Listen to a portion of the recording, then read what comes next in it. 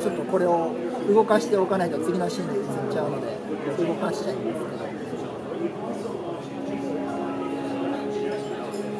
どなのでもうゲームっていうとまああの映画と違ってもっと簡易的な 3D のモデルを、まあ、使って動かせるようにしているっていうようなイメージのところはあったんですけども同じものをもう利用できてしまうじゃない。かリアルタイムでもうそれが動かせてしまうじゃないかっていうなので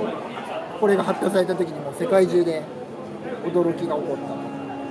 こういうことがもうできるんだっていうところに驚きが。